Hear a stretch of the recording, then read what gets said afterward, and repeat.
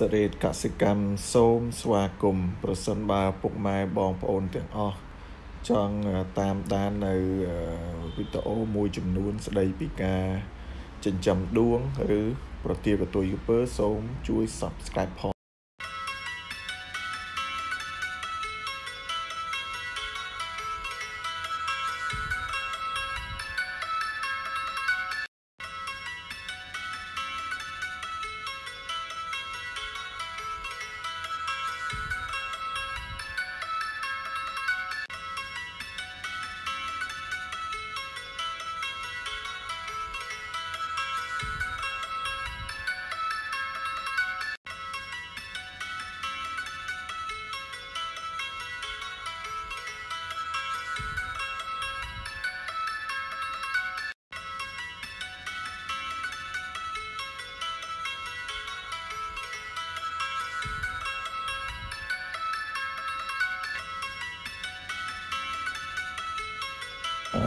សូមពុកម៉ែបងប្អូនទាំងអស់គ្នាជួយ Subscribe និង Like នៅវីដេអូនេះផងបាទដើម្បីទទួលនៅវីដេអូថ្មីៗអរគុណ